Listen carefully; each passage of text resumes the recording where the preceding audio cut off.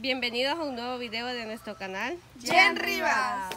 Bueno, bueno, primeramente dándole las gracias a Dios, a ustedes que siempre nos siguen viendo, nos siguen apoyando y que nos comparten, ven completo nuestro video y todos los queremos muchísimo porque nos dedican un poco de su tiempo, los queremos muchísimo, gracias, síganos viendo.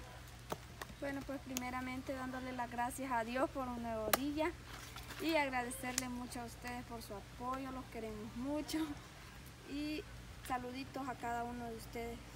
Bendición. Yo igual, ¿verdad? Agradecerle a cada uno de ustedes por siempre estarlos apoyando, por dedicarlos ese, ese momentito para ver nuestras locuras, ¿verdad? Porque todo lo que nosotros hacemos, lo hacemos para compartirlo con ustedes. Y gracias por siempre estarlos apoyando. Bendiciones para cada uno de ustedes. Que Diosito siempre los guarde donde quiera que andan a ustedes y su familia. Y gracias, gracias por estarlos compartiendo, por dejar su comentario. Bendiciones para todos, los queremos mucho. Que Dios los bendiga a toditos. Primeramente dándole las gracias a Dios y luego, a ustedes por siempre ver nuestros videos completos. Gracias por compartirlos también porque nosotros sabemos que ustedes son muy especiales para nosotros y bendiciones. Bueno, se preguntarán de qué se trata este video. Este video se trata de que la camarógrafa nos va a preguntar como qué es lo más, o sea, lo más feo que nos ha pasado en Navidad. En Navidad. Ya sea que uno se haya ido, que le hayan quemado la ropa, que le hayan quemado lo que le hayan quemado, que le haya explotado un cohete en las manos, no sé. Cada una va, va a contar una historia de ella. No, dos historias cada una, dos historias, porque yo tengo tantas que no me va a gustar una sola, pues, para decir todo lo que me ha pasado. Bueno. Pero siquiera las dos más terribles. Va, entonces que empiece Jenny. Yo. Sí, no. Bueno, Jenny, ¿usted quiere, bueno, como usted dice que tiene bastantes historias para que contarlos aquí a través de cámara, ¿qué le puede decir a nuestros suscriptores? Bueno, ¿y qué recomendaciones pues, les puede dejar también a la vez? voy a empezar entonces, pues. Aquí como ustedes pueden ver, va, yo soy la más humilde. Mm. Sí me pueden ver. Pues fíjense de que yo en una Navidad me puse así como que dicen Katrina, va, mi ropita, mi, mi, pelito lavado y todo ahí bien, bien coqueta yo. Entonces, y dije yo, ah bueno, dije yo, voy a salir, dije yo, a ver cómo está el ambiente afuera. Va, salí a la carretera, llegué a una tienda, pedí una soda, me senté ahí bien cómodamente, ¿verdad? Me tomé la sodita y estaba yo relajada, bien tipo. ¿Van a poner atención o no van a poner atención a mi historia? Estamos recordando nuestra historia. Pues entonces me acosté en la hamaca.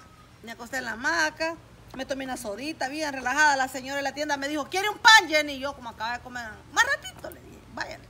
Más, más ratito, más ratito me lo como, le dije, me acosté. Cuando vi que unos hipotes empezaban a tirar chifladores, cohetes, pero yo humildemente, va, yo humildemente ahí sentadita en mi hamaca recostada.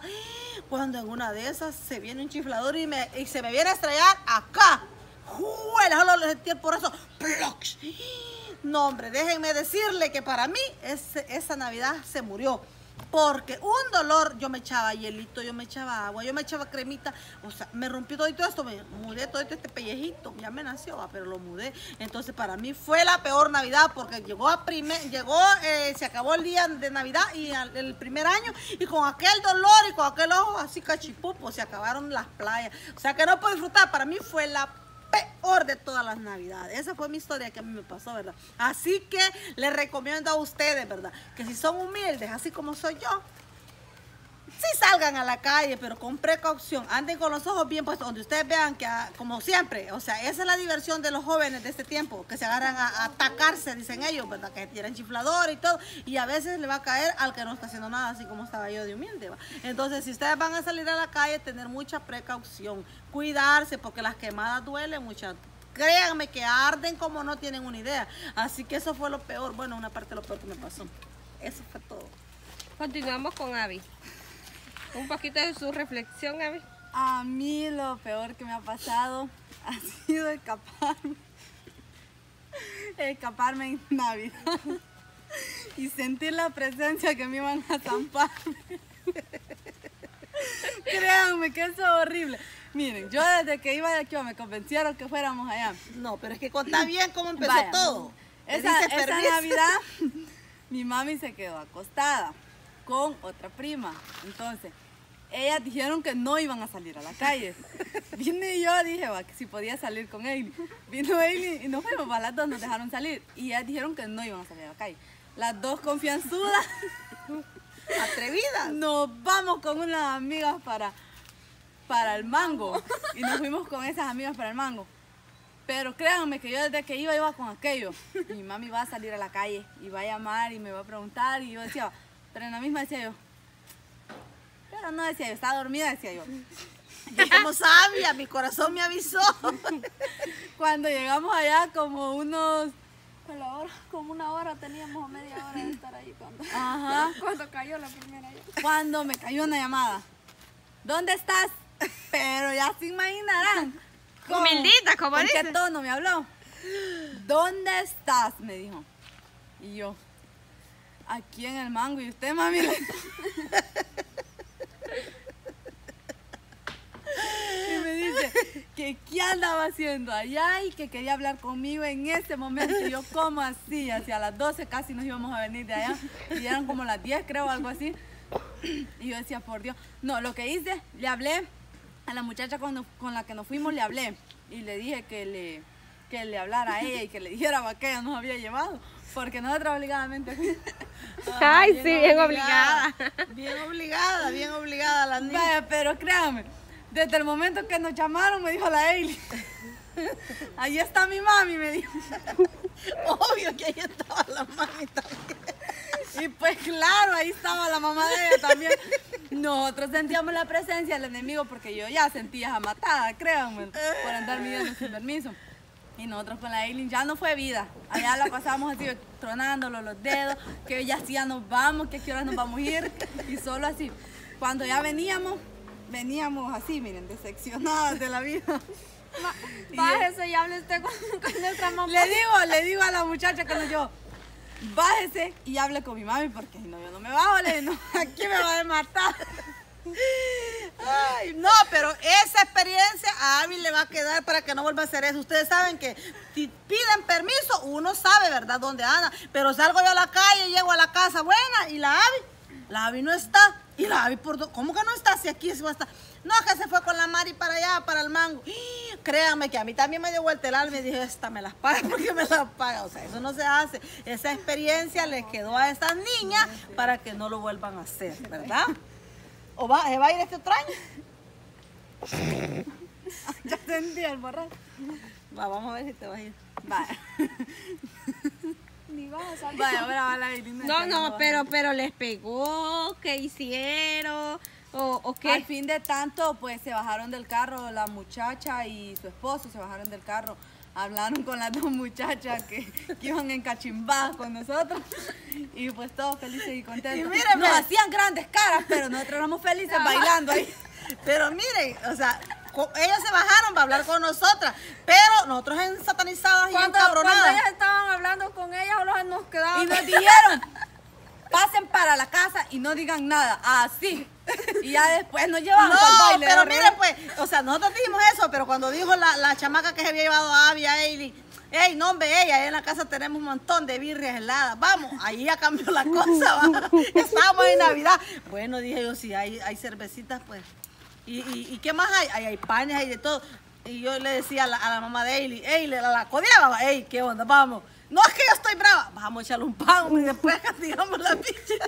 Y ya después amanecimos que la íbamos a castigar. Pero sí, ¿verdad? Hablamos con ella que esas cosas no se hacen. Para los que son menores de edad, bueno, aunque sean adultos, pero están con su mamá, siempre que vayan a salir, pidan permiso y quédense para donde van. Nunca agarren el camino equivocado, ¿verdad? Porque ahí a uno lo preocupan como Oiga, padre. la que nunca se escapó. Nunca. Solo me quemaron el ojo. La reflexión a de a Aileen. Bueno, pues yo me recuerdo que cuando tenía como unos 10 años, vino un tío y este, todos andábamos bien Catrín. y mi mami salió a como a las 10 parece, salió a, a ver qué había en la calle y había un montón de bichos que andaban tirando chifladores. ¿Y qué más iba a ver? Y andaban unos grandes tacones, mi mami.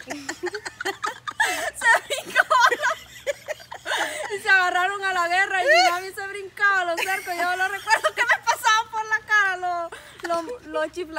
chifladores y No le pasó nada a tu mami, no se cayó. No, hombre, sí, así era. Esa misma Navidad, creo que fue la Navidad, ¿verdad? Que Ey, ¿te acuerdas? También, También. tuvimos una Navidad que toda la familia salió, salió a la calle a la misma hora. Y nos vamos a encontrar con un mortero, pero quiero ver cómo ve, en la de una bicha estaba. Es que ahí Y no hallábamos el camino, créanme, lo que no cabíamos en el callejón de nuestra casa. Es que como ahí lo que pasa es que es un callejón, pero entonces toda la plebada y todo prenden los cohetes y los dejan. Y imagínense que uno vaya pasando y le explote eso en las canillas, eso es perro. Así que anden viendo para abajo, muchachos. Cuídense. Tengan pues. cuidado cuando exploten cohetes de esos días sentados porque, porque No. a mí ya me cachimbeaban por un cohetecito de eso. Miren, van a creer que estaban cenando todita la familia iban. Y la enferma de yo metió el cohete adentro y yo dije, me va a dar tiempo de sacar la mano y tirarlo. Dije, como juego. si la mecha era grande para que me iba a dar tiempo. Van a creer que un brasero mete la mano la bruta. y mete la mano y ¡pum! me explota el cohete. Y yo asustada mucha. Y, y ¿saben qué me dice la doña? ¿Por qué hiciste eso? Yo pensé que afligida porque el cohete me había explotado en la mano. Enojada porque los había asustado. También.